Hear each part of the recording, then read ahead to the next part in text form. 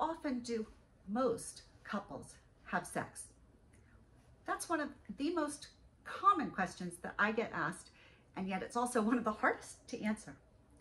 I'm Beth Darling, your sexy genius. I'm a former board certified divorce lawyer who flipped, and now I'm a love, sex, and relationship coach here with you for Sara's Secret to help explain and answer all of your questions, concerns, issues, and to start the conversations about the things that mean most to us, which is our relationships, love, sex, and romance.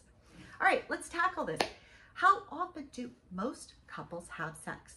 Well, it's really hard to get a figure on that, but let me tell you that there is one study from 2019 that found that 47% of couples have sex less than once a week.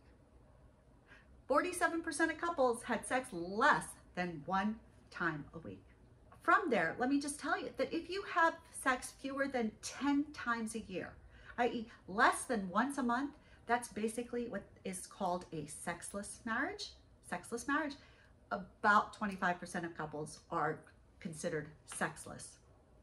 Um, then over that, you know, of that 47%, you can find all sorts of variations in terms of how often. Generally, the thought is, is that if you are having sexy at least once a week, that tends to be the point where couples will sort of stay together or where they're feeling so disconnected. Because here's the thing it's not about how many orgasms you're having right? It's not actually the sex quote sex that is important. What is important is how intimately connected the couples feel but when the sexy intimacy goes then too often what people feel like is that it's like a roommate situation They'll say things like, I love them, but I'm not in love with them anymore. And as one rabbi said, lust is stronger than love because we might love that person and yet we fall in love with somebody else and we do things that we know aren't. They're not aligned with our ethics, they're not aligned with our values, um, and yet we do them. We're willing to hurt someone we love because we are in lust, i.e. in love with somebody else.